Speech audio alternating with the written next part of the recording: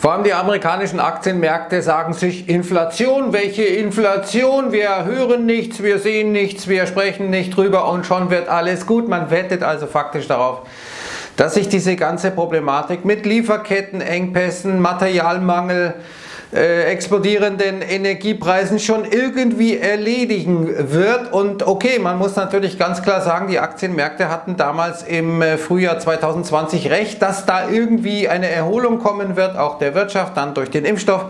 Aber jetzt äh, hat man eben eine Wette, die sehr, sehr groß ist und die funktionieren muss, weil wenn das nicht passiert, dann muss man äh, ein bisschen sich umpositionieren und zwar sehr heftig umpositionieren, wenn also diese Lieferkettenproblematik, Materialmangel, absolut inflationäre Energiepreise nicht irgendwie bald verschwinden, äh, dann äh, ist man möglicherweise gezwungen, hier komplett eine Geschichte umzudrehen, die angesichts der Masse von Leuten, die im selben Boot sitzen, auf derselben Seite des Boots sitzen, schwer zu drehen sein wird ohne dass da wirklich viele kennt. Dann schauen wir uns die ganze Geschichte mal an. Zum Beispiel der gestrige Handelstag, dünnstes Volumen, by the way, im Oktober, was wir gestern hatten vom Handelsvolumen her. Dow Jones leicht negativ, vor allem der Nasdaq, der ist denn nach oben gegangen. Nasdaq 100, ähm, 1% nach oben, der äh, S&P 500, der marktbreite Index 0,34%. Nasdaq 100, wer ist da drin? Da sind die großen Tech-Werte drin, da ist eine Tesla drin, da ist eine Apple drin. Das sind also die Schwergewichte, die gestern wieder die Märkte gezogen haben. Und die Grundfrage stellt sich eben ja, irren die Aktienmärkte, denn wir sehen ja ganz klar doch eine Kluft zwischen Wirtschaft und äh, den Finanzmärkten. Wir sehen äh, die Wall Street weiter nach oben gehen. Auf der anderen Seite sehen wir viele Zeichen für eine Abschwächung der Wirtschaft, eben weil viele Dinge nicht mehr produziert und verkauft werden können, weil Bänder stillstehen etc. Und jetzt ist eben die Wette, wie gesagt, da, dass man sich sagt, ja, also das werden wir schon irgendwie wieder in den Griff kriegen, wie wir damals auch Corona irgendwo ein bisschen in den Griff gekriegt haben. Zumindest die Wirtschaft hat das ja bisher äh, geschafft. Äh, und diese Wette, das ist ein Artikel meines Kollegen Wolfgang Müller, die läuft derzeit und das ist eine sehr gigantisch große Wette, muss man sagen. Auch äh, zum Beispiel in einzelnen Beispielen wie jetzt Tesla. Hier sehen wir, Tesla hat eine Marktkapitalisierung von 844 Milliarden Dollar. Die Aktie ja im Höhenrausch derzeit. Alle anderen Autobauer zusammen haben etwas weniger, nämlich 827 Milliarden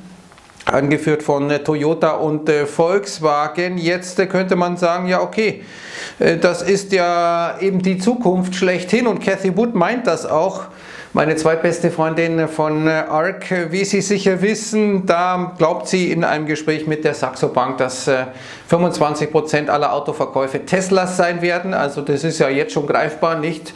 Ich stelle ja immer die Frage, wann haben Sie zuletzt ein Auto gesehen, das kein Tesla war auf der Straße, meine Damen und Herren? Und sehen Sie, da müssen Sie schon ganz weit in Ihr ähm, Gehirn zurückforschen, bis sie da vielleicht einmal einen Volkswagen gesehen haben auf der Straße.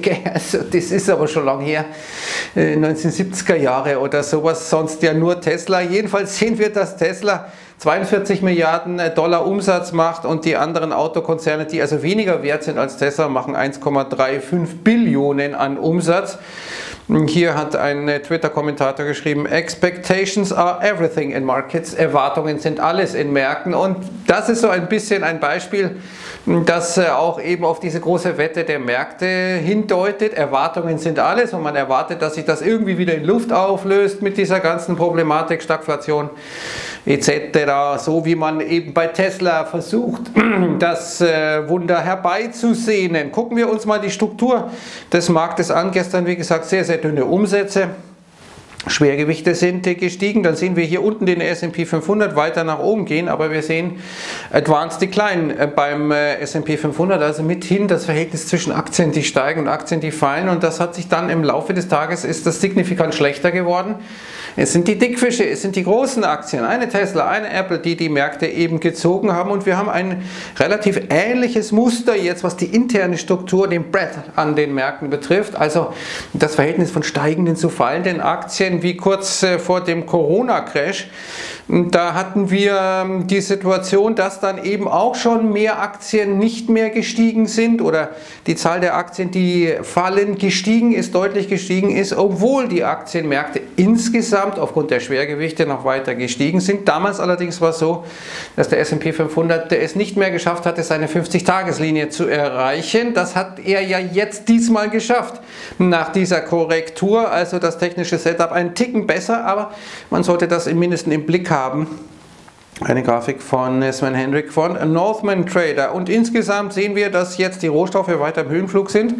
Der gleichgewichtete Commodity Index, also wenn man äh, alle Rohstoffe gleichgewichtet, die in diesem Index sind, äh, dann sehen wir, da haben wir ein neues High, sind wir ausgebrochen nach oben. Das letzte Hoch war 2011 äh, und wir sehen unten mal von Ottavio Costa die zehnjährige Inflationserwartung da sind wir möglicherweise auch vor einem Ausbruch. Also da muss in Sachen Inflationserwartung was nach unten gehen, sonst äh, zeigt sich, dass die Märkte äh, hier gegen die Inflation wetten möglicherweise falsch liegen. Wie gesagt, diese Märkte zeigen, ähm, das sieht nicht so aus, als würde die Inflation jetzt äh, zurückgehen. Die Aktienmärkte glauben das. Mal sehen, wer recht hat. Hier Commodities, also wenn wir von Rohstoffen sprechen, sehen wir derzeit zum Beispiel schon Probleme bei Kupfer, dass die LMI, also die Londoner Börse, hier nicht in der Lage ist, Future-Kontrakte mit dem physischen äh, Kupfer ähm, zu unterfüttern, abzusichern. Äh, das ist äh, eine Situation, die dann äh, dazu führt, dass praktisch der Spread an den Märkten für Kupfer massiv steigt. Also man hat ein gewisses Misstrauen, dass das alles noch irgendwie abgesichert ist. Das zeigt eben den Mangel an Rohstoffen. Ich hatte schon nicht den Mangel an Rohstoffen, aber an verarbeiteten Rohstoffen. Ich hatte schon öfter gesagt, Aluminium zum Beispiel, fast in allen Produkten drin. Da wird die Produktion reduziert. In so vielen Bereichen muss die Produktion reduziert werden, Zink etc., weil eben die Kosten so hoch sind für die Produzenten und damit äh, das Ganze sich durch die Lieferkette weiter frisst. Wir haben jetzt äh, Zahlen. Wie gesagt, man hat sich äh, letzte Woche so ein bisschen auf die Bankbilanzen fokussiert, die sehr gut waren, hat das Thema Inflation hinten angeschoben. Jetzt kommen wir in eine Berichtssaison, die noch ein bisschen soft anfängt. Also es kommen nicht die Unternehmen, die wahrscheinlich von dieser ganzen Problematik besonders betroffen sind. Aber heute kommt etwa Netflix, morgen kommt Tesla. Das wird spannend. Morgen kommt auch IBM. Also da kommen schon ein paar sehr interessante Unternehmen. Intel kommt dann am Donnerstag. Wir haben American Express am Freitag. Also es geht so langsam los jetzt mit äh, den Unternehmen, die wirklich dann äh, zeigen, wie schaut es mit dem Ausblick aus. Die Märkte werden vor allem auf den Ausblick äh, gucken. Was also sagen die Unternehmen, wie geht die Geschäftsentwicklung weiter? Microsoft gestern einer der großen Gewinner, auch ein absolutes Schwergewicht, äh, jetzt auf Allzeithoch. Und wir sehen, wenn wir mal die handelbaren Assets an den Märkten vergleichen, dann sehen wir, dass Gold die Nummer 1 ist mit 11 äh, Billionen, dann kommt der Apple 2,42 dann kommt Microsoft mit 2,30, Saudi Aramco, Alphabet, Amazon, Silber, Bitcoin, Facebook und Tesla auf Platz 10. Hurra!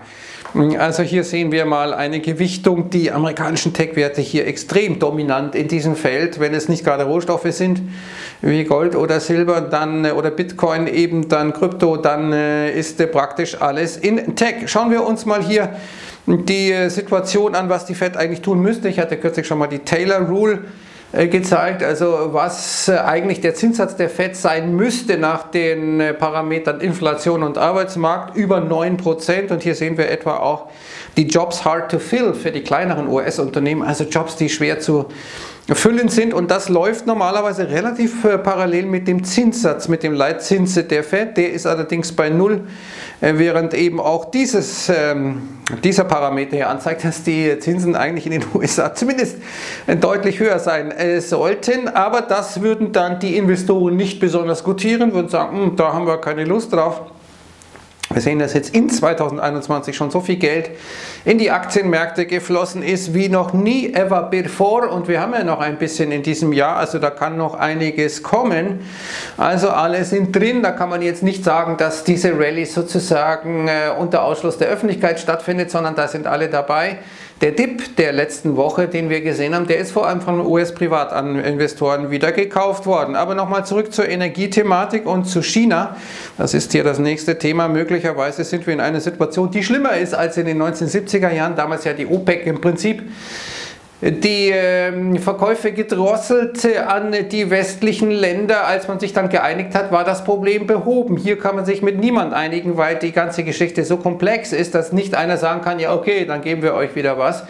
Ja, die Russen haben eine gewisse Macht, der Putin hat eine gewisse Macht, aber er kann eben auch nur das äh, verkaufen, was er hat und da gibt es eben auch starke Nachfrage. Also wir sind in einer anderen Situation. Möglicherweise ist diese Situation in Sachen Energie problematischer als in den Stagflationszeiten der frühen 70er Jahre. Aber wie gesagt, die Märkte, die wischen das komplette beiseite und sie wischen auch die Schwäche Chinas beiseite. Wir hatten ja kürzlich das BIP oder die Zahlen insgesamt Industrieproduktion, äh, all diese Dinge aus China ja relativ schwach. Und wir sehen eine Analyse der Bank of America, die sagt also, die, ähm, das chinesische BIP ist wichtiger für die äh, US-Unternehmen im S&P 500, das sind ja fast alles global agierende Unternehmen als das amerikanische BIP. Das zeigt, dass auch die Amerikaner eben sehr abhängig sind von internationalen Entwicklungen. Wenn China ein Problem hat, dann hat Deutschland ein Problem, weil Deutschland eben viel ähm, verkauft an China und viel importiert aus China. Das kriegen wir derzeit mit. Wenn Sie ein Handy online bestellen, dann werden Sie teilweise die Nachricht kriegen, können leider jetzt nicht liefern, wissen nicht, wann das kommt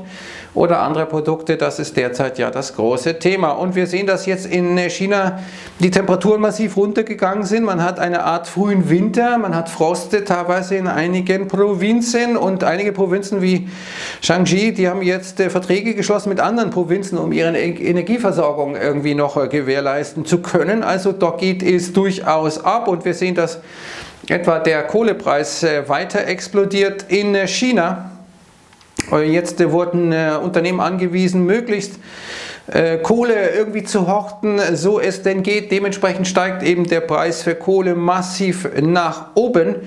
Und äh, das sind also Dinge, die derzeit hier stattfinden. China versucht mit allen Möglichkeiten, sich die Ressourcen noch zu sichern, um den Winter irgendwie zu überstehen. Wir sind da ein bisschen hinten dran, aber das macht ja nichts. Und insgesamt sehen wir, dass äh, wir letztendlich weit hinter den Erwartungen sind, was eigentlich alternative Energien betrifft. Hier sehen wir das Öl noch ein so wichtigen äh, Bestandteil der globalen Energieversorgung betrifft. Das muss weniger werden. Dazu müssen aber vor allem Solar, Wind und Batterieenergiesysteme massiv ausgeweitet werden. Dass das funktioniert, ist bisher nicht absehbar. Also muss man irgendwie die Lücke füllen, muss irgendwo etwas tun, damit diese Kluft nicht zu groß wird. Ja, Kluft ist hier genau das richtige Stichwort. Die Kluft zwischen der Wirtschaft, zwischen dem, was wir eigentlich hören, was wir sehen, worüber wir sprechen und dem, was an den Märkten eingepreist ist, die ist gigantisch und mein Kollege Wolfgang Müller, wie gesagt, hat da eine sehr differenzierte Analyse gemacht. Ja, wo sind die Punkte, was würde passieren, wenn?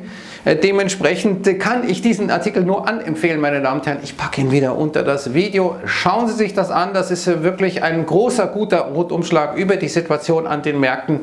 Und jetzt wünsche ich einen guten Start in diesen Dienstag und sage Servus und Ciao.